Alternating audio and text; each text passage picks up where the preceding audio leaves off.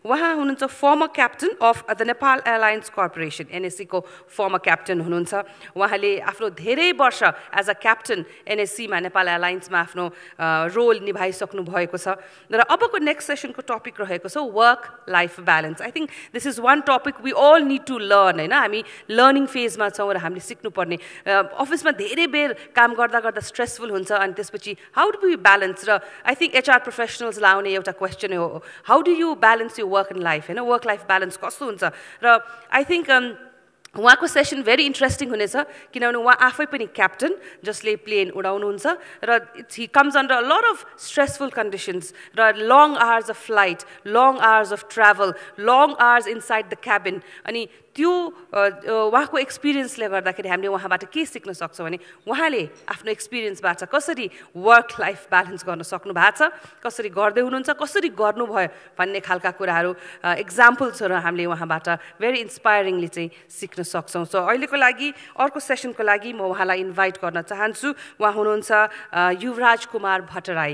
सरलाई would like to welcome him on stage once a captain always a captain म चाहिँ त्यही भन्छु। र उहाँले एकदमै फर्स्ट ह्यान्ड इन्फर्मेसन उहाँबाट हामीले सुन्न पाउँछौँ सिक्न पाउँछौँ and will learn about work life balance उहाँलाई म स्टेजमा स्वागत गर्न चाहन्छु thank you so much sir र उहाँले Nepal airlines as a captain resign गरिसकेपछि पनि he still working there as a consultant and if I'm not mistaken he trains newcomers and aspiring people who want to work under this industry. So welcome once again, sir, and we're very glad that you're here with us, and we'd like to welcome you for a wonderful session. Thank you. Thank you so much. नमस्कार मेरो गला अलिक खराब छ हेर्नुहोस्। त्यसकारण म माफी माग्छु मेरो स्वरको लागि। तर म चाहिँ नेपाल वायु सेवा निगममा नाइन्टिन एट्टी वानदेखि टु थाउजन्ड सेभेन्टिनसम्म विभिन्न पोजिसनमा काम गरेँ। बिगिनिङ विथ ट्विन वाटर को पाइलट। र हाम्रो ट्रेनिङ चाहिँ क्यानाडामा भएको थियो र त्यो ट्रेनिङको लागि हामी यहाँबाट क्यानाडा गयौँ। क्यानाडामा हामीलाई फ्लाइट ट्रेनिङ भयो अनि त्यसपछि त्यहाँबाट ट्रेनिङ सिद्ध्याएर फर्केर आएपछि सिधै को पाइलट भएर ट्विन वाटरमा उडियो। र यसरी अब ट्विन अटरमा को पाइलट भएर त उडियो तर एउटा कुरो के सोच्नु भन्दाखेरि म यहाँबाट जाँदा त नेपाल अधिराज्य घुमेको मान्छे होइन तर आएपछि चाहिँ म त हवाइजहाजमा बसेर नेपाल अधिराज्य घुम्नु पर्ने भयो। होइन? त्यो पनि एरियल भ्यू अब यस्तो सिचुएसनमा हामीले आफूलाई कसरी ब्यालेन्स गऱ्यौँ होला? होइन? अब क्याप्टेनहरू एक्सपिरियन्स उनीहरूसँग हामी को पाइलट इन एक्सपिरियन्स एउटा ठाउँदेखि अर्को ठाउँ जाने हो। र सबैलाई थाहा छ फ्लाइट गर्दा गर्दै कुनै बेला क्याप्टेनलाई के भयो भने को पाइलटको जिम्मेवारी हो जहाजलाई सुरक्षित अवतरण गराउने। भनेपछि यो ठुलो जिम्मेवारी हो। को पाइलट त्यसकारण जहिले पनि पुरै इफिसियन्ट हुनुपर्छ as good as a captain he should be able to fly the aircraft as a captain and land the aircraft take the aircraft safely from point A to B so यसरी मेरो सुरुवात भयो भनेपछि अब यो त्यसपछि म चाहिँ ट्विन अटरको कमान्ड भएँ क्याप्टेन भएँ नाइन्टिन एट्टी फोरमा एट्टी फोरमा क्याप्टेन भएपछि त्यसपछि चाहिँ म क्याप्टेनको हैसियतले विमान उडाएर नेपाल अधिराज्यको तत्कालीन सबै एयर स्टेसनहरू गइयो। र हाम्रो एउटा कस्तो हुन्थ्यो भन्दाखेरि ट्विनवटा उड्दाखेरि हामीलाई विभिन्न स्थानमा चाहिँ रात्रि विश्राम गर्नु पर्थ्यो। नाइ स्टप हुन्थ्यो। सो नाइ स्टपको बेला अब कुराहरू चाहिँ प्रपर म्यानेज हुनु पऱ्यो होइन? अब भोलिपल्ट बिहान फ्लाइट छ। आज अब नाइ स्टप भएको छ र भोलिको प्लानिङ के छ? त्यो हेर्नु पऱ्यो सो यसरी हाम्रो क्रमिक रूपमा ट्विन अटरमा एज ए क्याप्टेन मैले चाहिँ नाइन्टिन नाइन्टीसम्म फ्लाइङ गरेँ। त्यसपछि म एभ्रोको क्याप्टेन भएँ। एभ्रो उडेँ। नाइन्टी थ्रीमा म इन्स्ट्रक्टर रेटिङको लागि क्यानाडा गएँ। क्यानाडामा म इन्स्ट्रक्टरको ट्रेनिङ गरेर आएँ र म चाहिँ flight instructor HS seven four eight Hawker Siddeley seven four eight Avro एयरक्राफ्टको म इन्स्ट्रक्टर भएर म नाइन्टी नाइनसम्मै गरेँ भन्नु पऱ्यो इन बिट्विन नाइन्टी थ्रीमा म फेरि बोइङ सेभेन फाइभ सेभेनको को पाइलट ट्रेनिङमा गएँ अमेरिकामा। बोइङ कम्पनीमा होइन। युनाइटेड एयरलाइन्समा मैले बोइङको ट्रेनिङ गरेको। र नाइन्टी फाइभमा म captain captain ninety five hundred two थाउजन्डमा म क्याप्टेन भएँ। अनि टु थाउजन्ड सेभेन्टिनमा म रिटायर भएँ। र मैले यस बिचमा के भयो भन्दाखेरि एक्सपेक्टेसन चाहिँ आवश्यकभन्दा बढी गर्नु हुँदैन। र आजभोलि चाहिँ यङ्स्टरहरूको एक्सपेक्टेसन नै हाई छ। सकेसम्म काम केही नगरी माम पाइयोस् भन्ने जस्तो हुन्छ र कमसेकम काममा धेर से धेर बेनिफिट आओस् भन्ने हुन्छ। मलाई यी कुराहरू चाहिँ यसलाई एड्रेस गर्नलाई अब तपाईँहरूले you have to devise means यो त ह्युमन बिइङलाई ट्रेन गर्ने कसरी ट्रेन गर्ने? प्रपर काम गरोस् भनेर के सिकाउने? त्यो चाहिँ बहुत इम्पोर्टेन्ट मैले देखेको छु। अब म एज ए प्रोफेसनल मैले त मेरा क्रुहरूलाई ट्रेनिङ दिँदाखेरि यही सिकाएको हो। डोन्ट बी इम्पेसेन्ट अब हामीले ट्रेनिङ गरेर पाइलटलाई हरेक फिल्डमा लगेर उसको पर्फर्मेन्स हेरेर उसलाई फिट अनफिट गर्ने छ अनफिट चाहिँ नर्मली गरिँदैन थियो किनभने त्यत्रो फ्लाइङ गरेर सिकेर आएको मान्छेमा त्यस्तो अनफिट हुने सम्भावना कमै हुन्छ। सो अलिकति भनौँ न कोही मान्छेले आफ्टर टेन आवर्स चाहिँ एउटा मिसन राम्रो गर्छ भने कसैलाई बाह्र घन्टा लाग्ला कसैलाई तेह्र घन्टा। तर सबै त्यो लेभलमा त एक दिन त पुग्छ नि। त्यस कारण त्यो किसिमको पेसेन्स चाहिन्छ कि? सिकाउनुको लागि। आत्तिएर कराएर तर्साएर त you don't get any result मायालु वातावरणमा सिकायो भने सबैले सिक्छ र we can achieve our goal भन्दै अब म बोलाइ बोलाइ भएँ तपाईँहरूबाट केही if you want to know anything about म खुला छु। भन्नुहोस् के चाहियो के बुझ्नुहुन्छ के एनी क्वेसन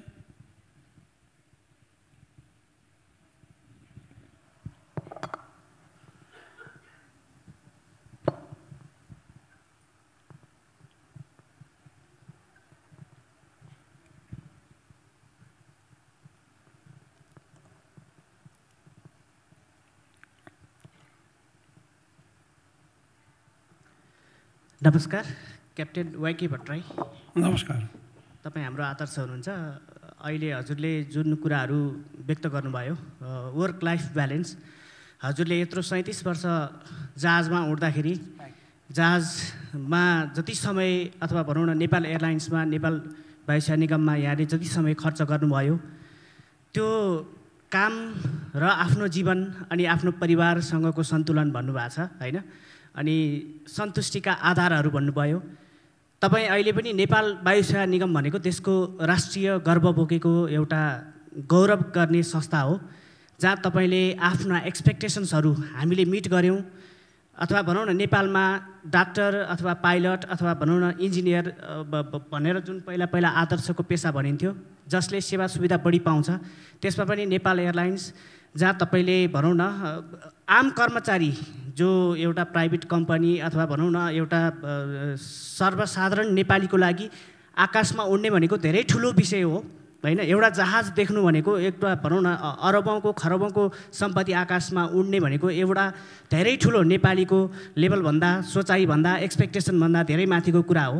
होइन? त्यस्तो एउटा बहुमूल्य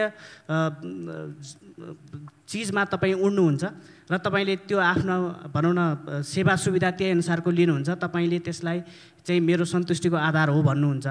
अब हामी अहिले यङ्स्टर्सहरू जति पनि एचआर सेक्टर अथवा अरू एचआर मिट्सहरूका कुरा गर्छौँ हामी हाम्रा एक्सपेक्टेसन्सहरू नेपालको कन्टेक्स्टमा अरू संस्थामा हाम्रा सेवा सुविधादेखि लिएर गएर हाम्रा आवश्यकताहरूको पूर्ति हुने कुराहरू चाहिँ एक्सपेक्टेसन किन बढेको हो भन्दाखेरि जस्तो तपाईँहरूले जागिर सुरु गर्दाखेरि पाँच सय रुपियाँ चाहिँ तलब खाएर सुरु गर्नुहुन्थ्यो पाँच सय रुपियाँको तलबले चाहिँ तपाईँहरूले परिवार पालेर उस्तै पऱ्यो भनेदेखि आधी रोपनी एक रोपनी जग्गा किन्न भ्याउनुहुन्थ्यो। किनभने एक पैसा दुई पैसामा तपाईँहरूले बजारमा सामग्री पाउनुहुन्थ्यो। अहिले हामीले हजार रुपियाँ लिएर बजारमा छिर्यौँ भनेदेखि एउटा राम्रो खालको ब्रान्डको चक्लेट आउँदैन होइन? हामीहरूको सेवा सुविधा भनौँ न तपाईँहरूले दुई सय रुपियाँ चाहिँ इन्टरटेन्मेन्टको लागि भत्ता लिँदाखेरि हामीले अहिले बिस हजार खर्च गर्नुपर्छ। तपाईँहरूको लागि त्यो केही विषय होइन होइन? अब अहिले के छ भने आम नेपालीहरू जति पनि बिस लाख पच्चिस लाख कति बाहिर गएका छन् उनीहरूले डलरमा कमाएर नेपालमा पैसा पठाएका छन् र उनीहरूको परिवार धानेको छ नभए उनीहरूले खर्चमा सन्तुलन मिलाउन सकेका छैनन्। होइन? यो असन्तुष्टिको आधार हाम्रो एचआर एक्सपेक्टेसन्स अथवा एचआरका जुन भनौँ न एचआरले हामीलाई फुलफिल गर्नुपर्ने होइन? जुन भनौँ न नेपालको चाहिँ प्रशासनमा अथवा नेपालको चाहिँ उद्योग धन्दामा कर्मचारीलाई अघि सरले पनि भन्नुभयो कर्मचारीलाई चाहिँ आफ्नो यो संस्था मेरो हो भन्ने भावना जागृत हुनुपर्छ। त्यसपछि मात्रै उसले चाहिँ यो कुराहरू सन्तुष्टिको लेभल पार गर्न सक्छ भन्छ होइन? हाम्रा आवश्यकताहरू कतिका पुरा भएको छन् होइन? हजुरले नेपाल वायु सेवाको कन्टेक्स्टमा होइन कि? हाम्रो आम ग्रासरुट लेभलमा चाहिँ नेपालीहरू जुन हात र मुख जोड्नलाई नै धौधौ परिरहेको छ त्यो कन्टेक्स्टमा कसरी हामीले चाहिँ सन्तुष्टि प्राप्त गर्न सक्छौँ भन्ने प्रश्न हो मेरो? सन्तुष्टि भन्ने कुरो चाहिँ रिलेटिभ कुरो हो। अब तपाईँले यसलाई फ्याक्ट्स एन्ड फिगर्समा तलब यति छ। मेरो चाहिँ दैनिक खर्च यति हो घर भाडा यति हो। यस्तो यस्तो कुरोमा रिलेट गर्न थाल्यो भने त्यो लेभलमा पुग्न सकिँदैन। त्यसकारण सन्तुष्टि भनेको अब न्यूनमै सन्तुष्ट हुनु सक्नु एउटा कुरो हो। सेटिस्फ्याक्सन आफै हुनु पऱ्यो तर त्यो त्यसको लागि फिजिकल कुराहरूको परिपूर्तिमा मात्रै सीमित हुनु भएन। अब त्यसकारण मैले त त्यसलाई त्यसरी दिएको छु। हामीलाई पनि फ्लाइङ गर्दाखेरि अरू विदेशी एयरलाइनका पाइलटले पाउने पैसाभन्दा कति पनि पर्सेन्टेज हेऱ्यो भने एकदमै न्यून हुन्थ्यो। तैपनि हामी खुसै थियौँ। खुस थियौँ हामी सेवा गरेका छौँ देशको सेवा गरेका छौँ त्यो हिसाबले। तर अब प्राइभेटमा त्यस्तो हुँदैन। प्राइभेटमा तपाईँ कम्पनीमा काम गर्नुहुन्छ। त्यसको प्रडक्सन के हो प्रड्युस के हो त्यसको कति चाहिँ पर्सेन्टेज तपाईँहरूको भागमा आउँछ त्यस किसिमले तपाईँले हेर्नुहुन्छ र त्यसमा एक्सपेक्ट गर्नु जायजै देख्छु म त।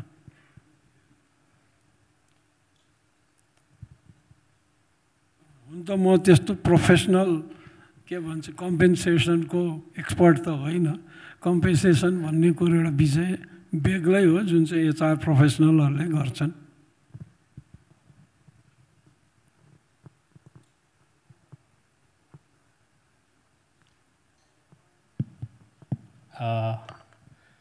नमस्ते।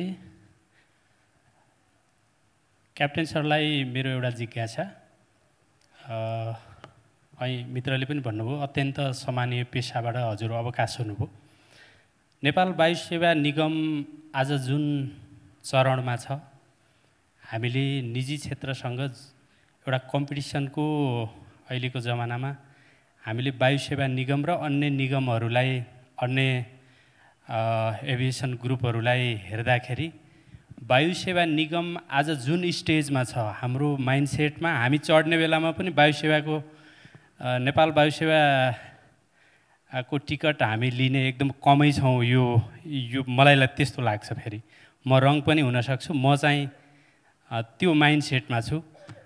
यो ब्रान्ड हुनुमा यो जुन नेपाल वायु सेवा निगमको जुन अहिलेको यो जुन खालको मान्छेको दिमागमा जुन ब्रान्ड बसेको छ यसमा हुनसक्छ नेसनल पोलिसी हुनसक्छ पोलिटिकल इस्युज हुनसक्छ त्यसभित्र काम गर्ने एउटा अलि पुरानो जमानाको म्यान पावर हुनसक्छ अथवा अथवा के हुनसक्छ अथवा त्यहाँको अहिलेको याचार सिस्टम हुनसक्छ अथवा नेसनल जुन एउटा पोलिसी भनौँ न त्यसभित्रको अथवा अहिलेको कानुन के हुनसक्छ सरले अलिकति हाम्रो दिमागमा त्यसको इम्प्रेसन अलिक फरक छ।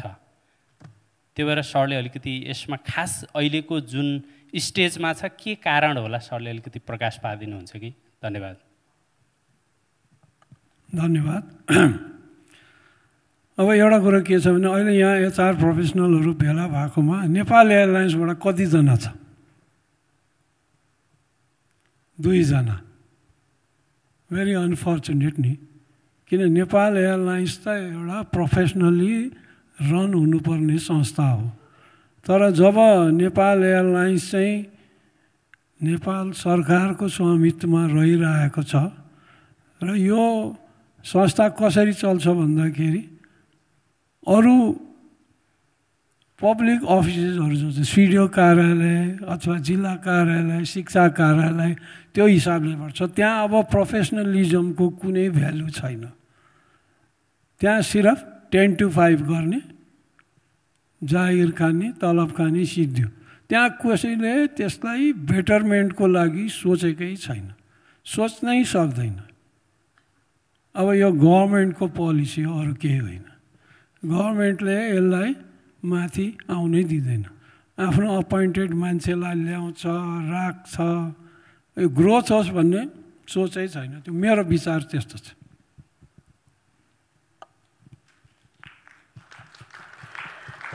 हस् thank you very much questions question answer सेसनलाई अहिले हामीले यहीँ टुङ्गाउनु पर्ने हुन्छ।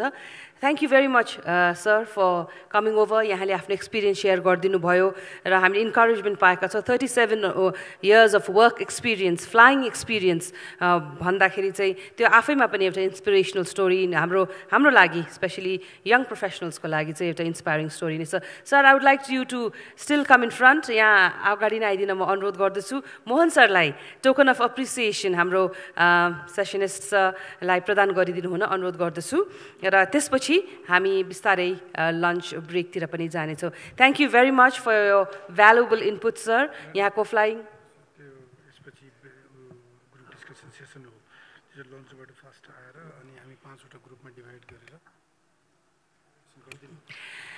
So, sir, thank you very much. Uh, token of appreciation from Mohan sir to uh, sir. Thank you so much. यहाँको अरू पनि जति पनि भेन्चर्सहरू छन् नयाँ प्लानिङ्सहरू छन् सबैले सबैमा यहाँलाई सफलताको हामी शुभकामना पनि दिन चाहन्छौँ लेडिज एन्ड जेन्टलमेन